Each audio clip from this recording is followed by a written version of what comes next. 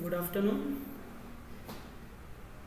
It's been almost a while since we've discussed anything, and so though things don't seem to be the same again, uh, let us start and uh, let us try and get back to understanding of few more things in our uh, learning of physiology. Today, the topic that I have chosen to discuss is something that you experience day in, day out. Something that you cannot live without, but it's not something you desire. If I ask you, how would you feel if someone pinched you? You would feel what? What would you feel? What would you feel? We can have a conversation. Will you feel good or you will feel bad? Definitely, you are going to feel unpleasant or an unwanted sensation. But this unwanted sensation or unpleasant feeling that you get, is it required?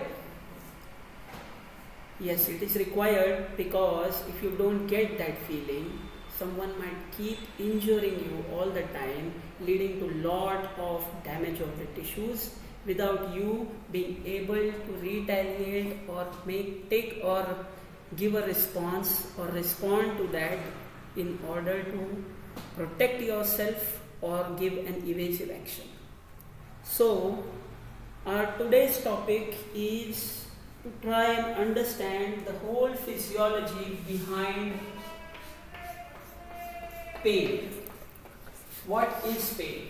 Like I've always been telling you, we have built our own method of developing a definition by asking few questions to ourselves. What are those five questions? What? When? Where? What kind of? And how?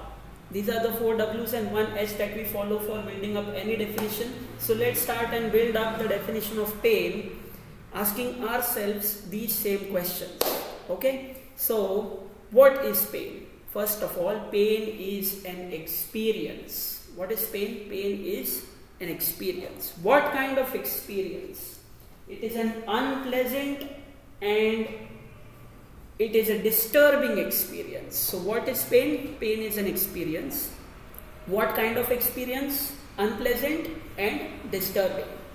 To be more precise, it is an unpleasant and emotional experience. Okay? Now, what brings on this experience or what causes? It can be actual tissue damage or a chance of a tissue damage.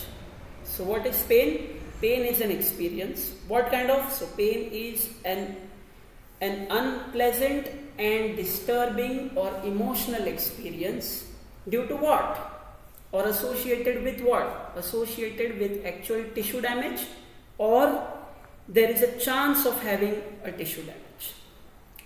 So what are the types of pain that can that can be there? Pain can be many types. It can be burning, stabbing, pricking, then it can be lancinating, stitching, dull, aching, all types of pains. Now when we say pain, we know that pain is a sensation or an experience that the person or the individual experiences whenever he or she gets exposed to some noxious stimulus. What is a noxious stimulus or what is a noxious uh, yeah what is a noxious stimulus it is a stimulus which is not good for for the human being or for the health of the human being this pain acts like a messenger to the brain through the nerves and it goes and tell you, tells the brain that something is wrong somewhere. Suppose suddenly you stop experiencing any kind of pain. When you stop experiencing pain, no matter what injury you undergo, no matter how many times your friend pinches you, no matter how many times someone pokes a compass from behind when you are in class, you would not come to know. And when you don't come to know, you might incur n number of injuries which are not going to help you survive complete or uh, survive healthily. Okay? So now understanding pain further, what is pain? We understood it is an experience. What kind of experience? Unpleasant and emotionally disturbing or an emotional experience. Now this can be brought on by what? By any kind of stimulus. It is always produced by any stimulus which poses as an injury or a potential injury. Potential injury means potential means to be able to means it can cause an injury has not caused as yet Okay, from where do we understand that it can cause a potential in, uh, injury? From our previous experiences. So, pain being an experience is going to be related to your previous experiences or something that you are going to go through. Now, this potential in a uh, injury or the injury per se is going to cause pain to you. That pain is perceived by the individual whenever you get pain, when you are injured somewhere or you are about to get injured, you feel the pain. Whenever you are exposed to a noxious stimulus, you feel the pain. How is that pain felt by you or experienced by you is what we are going to understand today. Okay? Now, before we go into the details of this, how it happens actually, now pain can be classed into two. Like I always tell you, every time you have to divide any topic while learning we try and draw three diagrams. So pain is of two types. Acute chronic. Okay?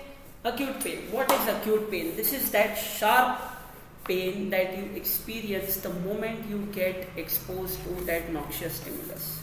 Also it is of a very short duration and has got okay then come to chronic. Chronic pain is that pain which you experience not as excruciating as the acute pain but it can be very very petrifying and it can keep terrorizing the patient for a long time over years not a, uh, making him unable to sustain live his life satisfactorily. So or rather in simpler words keeping him in a state of dis-ease. Okay so pain is of two types, acute, chronic. Acute, sudden, excruciating at the moment whenever you get exposed to the stimulus and it is very short, short period and it is of, it's easier to identify the cause. Whereas in chronic it can get more and more difficult to identify the cause as the symptoms get more vague and uh, with passage of time it becomes more difficult to identify from where this pain originated or how it started. Like you know very well, whenever we take history in our uh, clinics, we give a lot of importance to the minor details of all the presenting complaints. And therefore understanding difference between pain will also help you identify what group of remedies could be indicated for a particular type of pain and from where it is originating what are the nerve cells that are involved rather the neuronal fibers that are involved. Also it's very important to understand what is the basic physiology and what is the course of that pain sensation being carried okay? So this acute and chronic pain based on the first order neurons that carry this pain is going to be divided into acute and chronic a delta fibers carry fast pain c c fibers are what carry slow pain. Acute pain is usually fast pain slow pain is the one that is carried by C delta fibers. Before going into more details of the whole pathway of pain, let us first know why do we need to understand this physiology of pain. Like in every class we do, before beginning the study of a particular topic, after we've known the intro, we go into details of what all we are going to study today. Now in this, the first thing that we are going to study or we already studied was the introduction, then the definition, in definition, we asked ourselves those four W and one H and we identified or we tried to build up a definition of pain. Then we tried to classify pain. After classification, we are going to know why do we need to study pain? Why is pain important? If it is a part of physiology, why has nature or God given you this physiology? How is it going to be helpful for the for the individual? Once we've known why it should be there, then we come to the components. What are the components of pain sensation? Those we are going to understand. Then we'll understand how this pain sensation travels all along the nerves, reaches the cerebral cortex, causes whatever uh, changes have to happen over there or causes whatever stimulation needs to be given over there and incurs a response and how that response is going to cause annihilation or subsiding of this pain. After knowing that, then we will learn the variations in pain. What can be the variations? Is it the same everywhere, all through the body? It's not the same over the whole body. It can be different for the face, it can be different for visceral organs, even other organs or for the skin, there could be a completely different type of sensation of pain. So, what are the variations in pain? Also, there are some organs that are very, very notorious. They don't give you an indication of pain where they are sitting. They are happily sitting in the hall, but their indications are lying in the bedroom or in the kitchen they will not indicate as to I am the one who's causing the mischief or I am the one in disease. That's called as referred pain. So we'll go into details of referred pain also. Finally, after knowing all these, we will understand the analgesia system of our body. What's analgesia system of the body?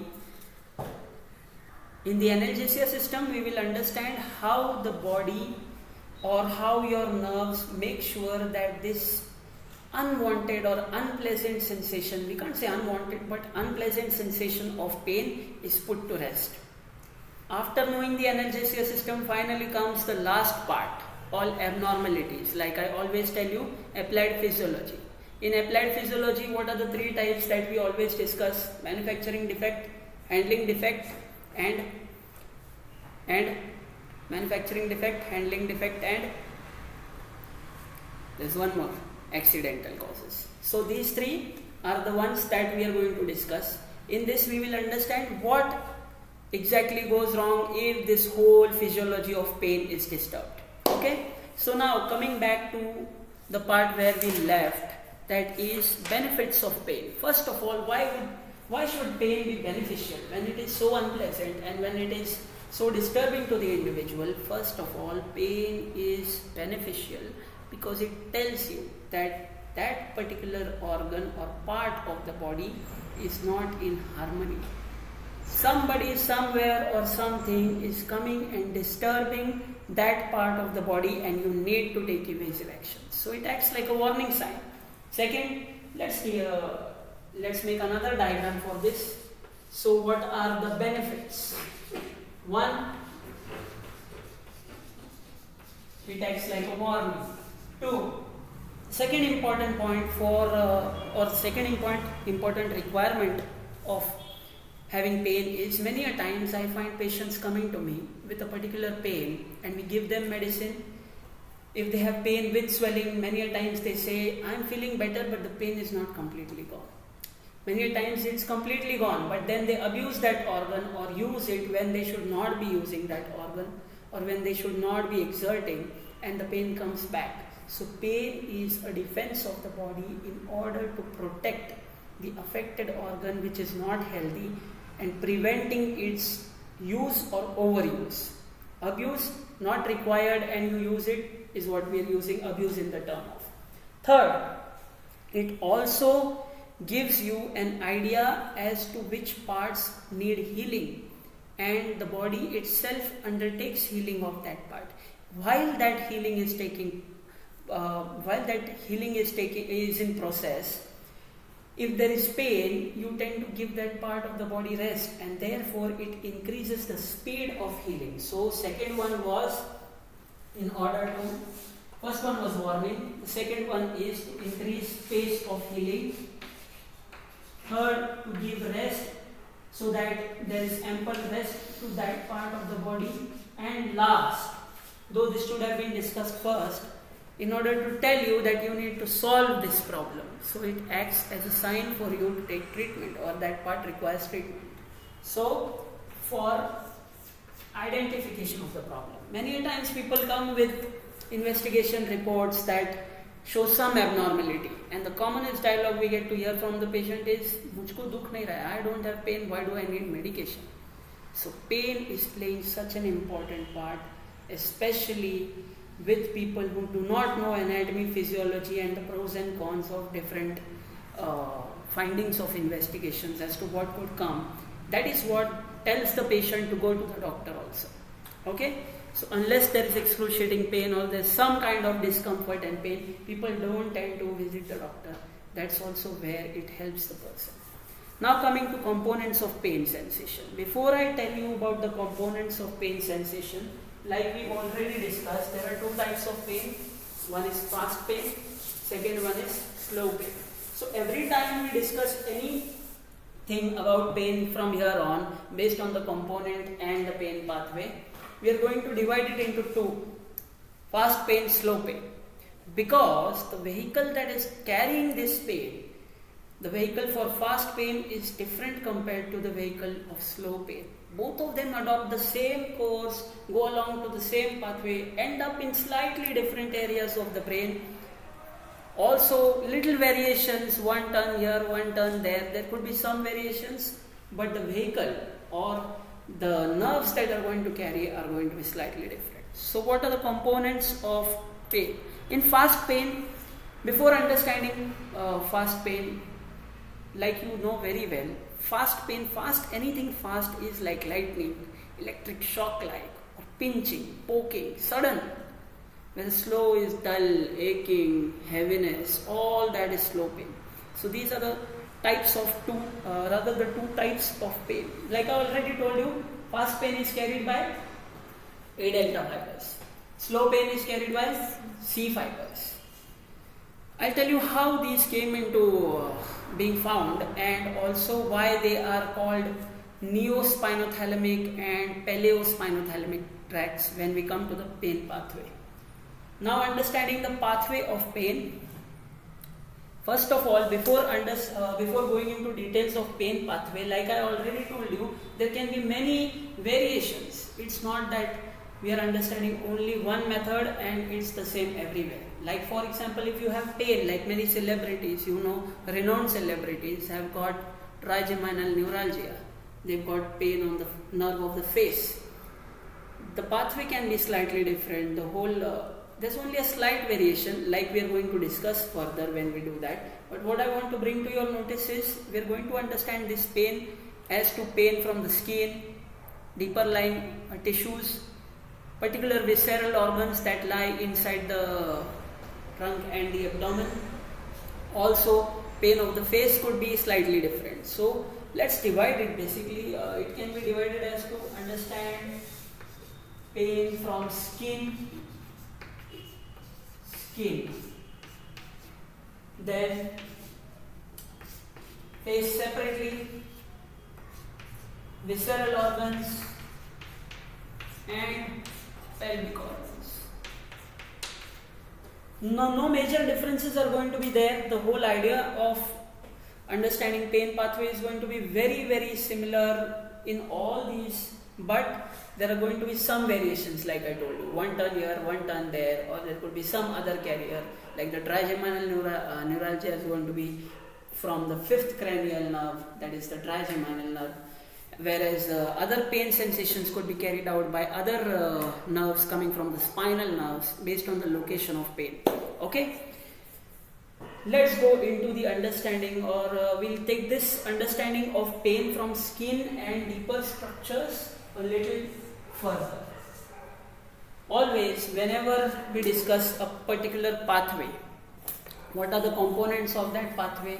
First comes receptor then comes first order neuron, then second order neuron, third order neuron, finally brain area which is going to get involved into this whole activity. That brain area from the afferent nerve, uh, brain area of the brain, followed by the efferent pathway wherein there are going to be again first, second, third depending on the number of neurons that are there leading to the effector organ. Correct? So, in, the in this pain pathway, receptors are called as nociceptors. What are nociceptors? Noci means something that you don't want to see. I don't want to see. Noci. The actual meaning of nociceptor is N-O-C-I. Noci means harmful. Ceptors, those receptors which pick up harmful stimuli. So nociceptors in our local understanding in our uh, regular understanding is something you don't feel like seeing that's something unpleasant so pain is carried by nociceptors that's how you remember that nociceptors are responsible for receiving pain stimuli okay so nociceptors are the receptors and like you very well know they are free nerve endings. These free nerve endings are what are going to accept stimuli of pain and then further they are going to carry it to the first order neuron. Okay so have you understood? So first order neurons of the pain pathway we are going to understand as fast and slow right? This is the first order neuron in first order neuron where do the first order neurons begin? They begin at the receptors. Which are these receptors? Nociceptor yeah? They are free nerve endings. They pick up that stimulus give it to the first order neuron now based on the type of stimulus whether it is an acute fast pain or it is a slow dull or slow chronic pain the fibers are going to be different. These first order neurons, in case of acute fast pain or fast pain, are carried by A delta fibers. Whereas the, the slow pain is carried by C type of fibers. Right? Where do they go? Now, these A delta fibers and the C fibers, first of all, we'll understand A delta fibers are going to go into the spinal cord posterior part like you know anterior part more motor rather motor and posterior sensory so they go into the posterior part of the spinal cord and which cells do they go and get attached to? They attach to or they inner uh, they go and end into or synapse into marginal cells. What are marginal cells? Those cells that are lying on the margin of the gray matter the gray matter, do you remember that beautiful butterfly we had drawn in the di that diagram? And there we had got marginal cells on the margins of the wings of the butterfly. So these marginal cells on the lateral side is where these A delta fibers are going to go and synapse into. Now what about the C fibers? The C fibers, if you remember, when I was telling you about somatosensory and somatomotor and when we were discussing the spinal cord with tracts, we discussed about substantia gelatinosa of Rolando cells. And I had told you in the near future, I would be telling you how substantia gelatinosa of Rolando cells play a very major part in you not feeling too much pain but still feeling pain and taking action on it. So substantia gelatinosa of Rolando cells in the posterior gray horn is where the C fibers go and terminate. Okay. Alright, then coming to the second order neuron. So the first order neuron, these end where? Marginal cells. Where do these end? Substantia gelatinosa of Rolando. Correct? So these are the two types of fibers that are going to go ahead and end in or are going to synapse as first order neurons. Now coming to the second order neurons. These neurons We'll go one by one. We'll take for fast pain first. After they have originated from the marginal cells, the first thing they do, they cross their road. Before going anywhere, they know it's not, they're not going to go through the same area from where that sensation has come. They want to cross the road. So they cross over to the other side of the spinal cord transverse section and this crossing over while they are crossing they enter through the commissure that's anterior gray commissure. Okay?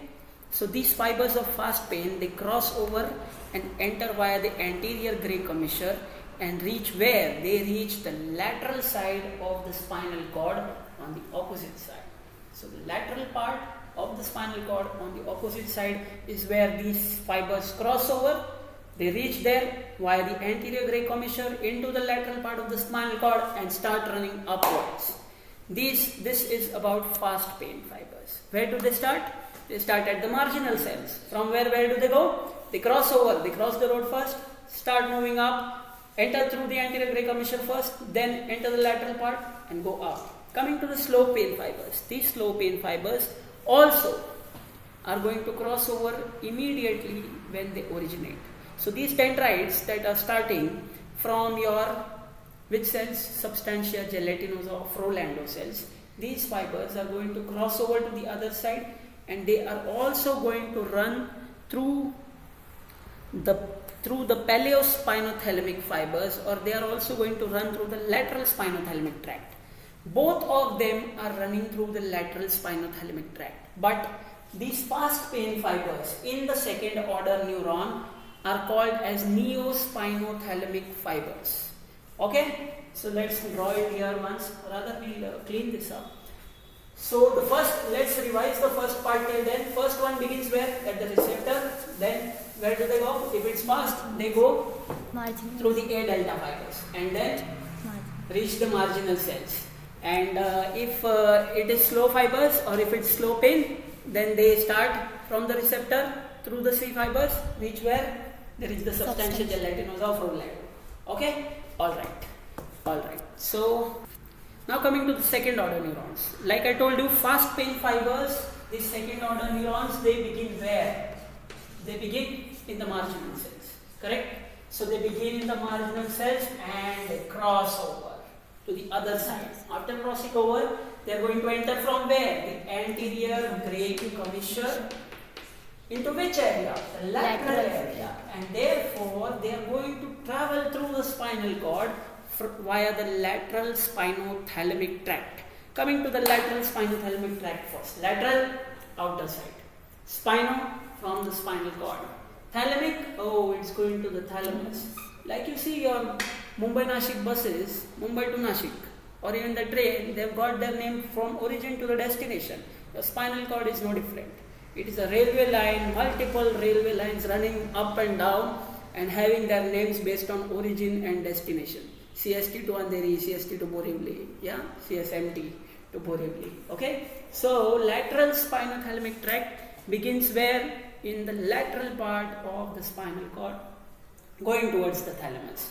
So our fast pain fibers are running through these, and these are called as neospinothalamic fibers. Why neo? Neo means new, newly discovered. So compared to the ones that are slow, these are newer discovered fibers. Okay, so they are going to run through the spinothalamic tract and they will end where? In the thalamus. So these are neo and they end where? In the thalamus. But where in the thalamus? The thalamus is not one you know, one small area where everything is going to come and get accumulated together and cause a hodgepodge. There's going to be differentiation of nuclei. So where in the thalamus? It ends in the ventral part of the posterolateral nucleus of thalamus. So ventral posterolateral nucleus of thalamus is where these fibers end. But like I always tell you, in physiology and in our uh, human anatomy, nothing is only to one part or only concentrated to one area except end arteries like we have been discussing. So these fibers of these nerves are also going to go to some other area और जिनको thalamus रास नहीं आता वो RAS में जाते they go to reticular activating system okay so इनको thalamus रास नहीं आ रहा तो ये लोग आधे रास्ते में रुक जाते बोलते ऊपर थैलमस है we don't want to go to the thalamus we go to the RAS because हमको थैलमस नहीं रास आ रहा so they go to the brain stem where there is reticular activating system okay so they go to ras partial remaining go to thalamus. Okay, like few of you get down at Kalyan, others go to Bombay. It's just similar to that. Alright, now this is all about fast pain, quick fast pain going up there. Now coming back to slow pain. Now these slow pain fibers, like I told you, they form where they form at the substantia gelatinosa of Rolando cells. Correct? From here on, they are going to cross over and then they enter which part? They enter the lateral area of the spinal cord. From there, they are going to go up. These fibers are called as paleospinothalamic fibers. Paleo, new se pele wala paleo. So paleo is something that came into existence or was discovered earlier compared to neospinothalamic. Tract. Okay, spinothalamic fibers. So paleospinothalamic fibers are the ones carrying slow pain and they are going to go up until where? Like I told you, it's lateral spinothalamic tract. So these are also going to end over there only, where in the thalamus. Which part of the thalamus? Again, the ventral, posterolateral ventral, posterolateral nucleus of thalamus. Okay, so now here again they started at substantia gelatinosa of Rolando, crossed over via the paleospinothalamic fibers in the lateral spinothalamic tract. They are going where? To the thalamus. Right? In the thalamus. They are end, ending also at the same area that is ventral posterolateral nucleus of variations now these are older ones, so they have got more variation. They, they say we are not going to thalamus. So some of them are going to stop midway. Midway means just before the destination. And what lies just before the destination? Again the brainstem. And which part of the brainstem? The reticular formation, like I already told, already told you. Some of them say, okay, we'll go a little further up, but we won't enter the thalamus right up to there. So they go to the mid, uh, to the midbrain tectum and finally few of them end near the aqueduct of Sylvius around in the gray matter around the, the aqueduct of Sylvius. What is aqueduct of Sylvius? It is that duct which links third and fourth ventricle. Correct? You remember? Okay. So, what are the three variations? Few of them are going to maximum, most of them are going to the thalamus into the ventral posterolateral nucleus. Some of them, they say, we are not going to thalamus, we better wait in the brainstem and these are remaining in the brainstem in reticular formation. Some of them move little further up into the midbrain tectum and the remaining they get they get terminated in the gray matter surrounding the aqueduct of Sylvius. Okay, so that ends our second order neuron. Yeah. Now coming to the third order neuron. The third order neurons, like we already discussed, where do the second order neurons end? They end mostly in the thalamus, otherwise in the brainstem, sometimes in the midbrain. You know that well now. Coming to the third order neuron, these are going to carry that pain sensation to the cerebral cortex. Invariably, any tract you learn in physiology, it's all that always that the third order neurons are going to end at the cortex. So if in the exam or somewhere you get confused as to what to write, please remember it's all about remembering which part of the cortex so the third order neuron in this case are going to end, end or they are going to start from the thalamic nuclei and carry through the reticular formation and the gray matter. Finally, they are going to end if it is a sensory, this is a sensory pathway, no, what we are discussing. We are, that sense of uh, the sensory message of pain is being carried. So it's going to end, all, end always in the sensory cortex. Now, which area of the sensory cortex? Pain sensation invariably is carried to the post-central gyrus of the sensory cortex. Mainly the sensory area of the cerebral cortex is what is going to be provided with the pain, uh, with uh, the sensation of pain or that uh, impulse of pain. Once this reaches the cerebral cortex, then the centers of pain that are there in the post central gyrus of the parietal cortex. So, parietal cortex, post central gyrus, post behind, central behind the central sulcus. So, the gyrus behind the central sulcus on the parietal lobes of the brain is what is going to process pain sensation. Also, please remember the hypothalamus also is responsible or uh, is also concerned with some action along this pain pathway. Now, what is that action? That action is the arousal mechanism.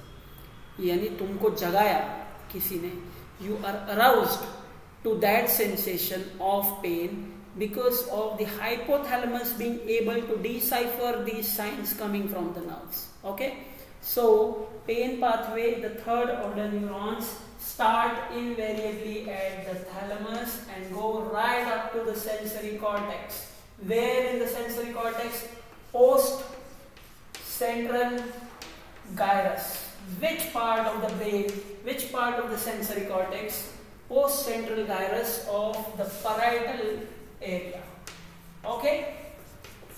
So this parietal area Post-central gyrus is where all the pain sensations are going to be transmitted for them to be processed. and the hypothalamus is going to play an equally important role so the third order neurons also give it some input that this is the pain and that's what arouses or causes the arousal mechanism this is in short the whole of pain pathway beginning from the receptor right up to the end of the third order neuron at the cerebral cortex this is about pain coming from skin and the deeper tissue now we come we will try and understand or rather we'll take this up later where we understand the pain sensation carried from the face. Similarly, pain sensation carried from the viscera can be various types. Before I tell you about visceral uh, pain types, let us first understand that from where does this pain come and why do we need to understand visceral pain. When we understand visceral pain, it gives the physician an understanding or it gives the physician an idea as to what organ is affected.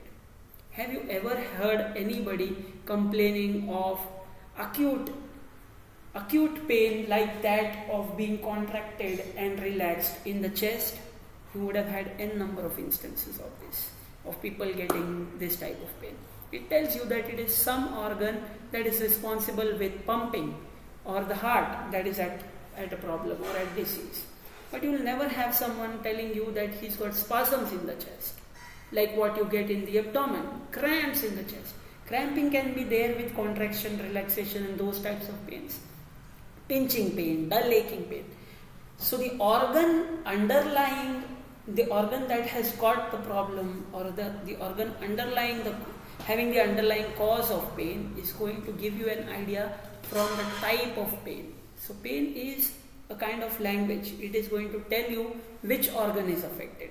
Now, in terms of visceral pain, what can be the causes of visceral pain? The first cause of visceral pain is lack of blood supply leading to lack of oxygen and glucose. That is called as ischemia. So, what are the causes of visceral pain? When does the pain pathway get into action in terms of viscera? First of all, lack of blood supply, ischemia. Which organ always most uh, frequently encountered organ ischemic pain is the heart. So visceral pain from the heart through due to ischemia is because of bradykinin and prote proteolytic enzymes being released and these are the ones that stimulate pain fibers and send sensations of pain. Similarly, there can be chemical stimuli. One was lack of blood supply or ischemia. Second, chemical. Chemical stimuli means what? What chemical lies inside your body? Many chemicals, out of which the stomach has got HCl, right? So this HCl, if suppose the bottle of HCl in your body, that's your stomach, by mistake starts to leak because of some hole, because you've been enjoying yourself all the time which your stomach has not enjoyed as much. And then there is an ulcer and that ulcer tends to get perforated. And there's a perforation, R par ho uske andar hole. So then the stomach is going to leak some part of its HCl and that will go and get spilled into your peritoneum. That's your covering. And the peritoneum, like you know very well, is also pain sensitive. So this pain sensitive peritoneum will start reacting. Oh my god, I am getting burnt by this acid. And it tells you, and then you are into an into a medical emergency. So this, so this is another cause of visceral pain. The third, n number of times we get patients coming to us after a heavy meal, full enjoyed last night, partied, ate a lot, and then today I've got severe abdomen pain. Many times we get girls coming to us with pain in the in the abdomen due to female reproductive system problems. So this pain of spasm in hollow organs is also another part of visceral pain. So spasms of hollow organs. Which organs are hollow? All those organs that have got a hollow cavity like intestines, for that matter even uterine pains. Okay. Finally, if there can be spasm, there can also be over distension. Like I told you, overeating, bulging of the stomach, abdomen full, and then you start getting dif difficulty breathing and discomfort and all types of pain. Kabhi idhar dukh raha kabhi idhar dukh. So over distension of hollow organs. So these are few of the causes of visceral pain. Over distension, right? These are the causes of visceral pain. Now coming to notorious pain. Why I call this pain or uh, referred pain as notorious pain is जो like I always tell you, this pain is something where kahi pe निगाह and kahi pe nishana. Like organ affected is lying in some other room and it is giving indications in another room or in the adjacent room. That's what we call as referred pain. This whole idea of referred pain understand referred pain, we need to first know the theory of dermatome, sclerotome, and myotome. What is dermatome, sclerotome, myotome theory? In the embryonic life, myotomes are what are going to give rise to future muscles. Dermatome is that part of the skin which is going to get innervated by one particular nerve, by one nerve uh, branch of the nerve. Similarly, sclerotome is going to give rise to bones and other uh, cartilaginous structures.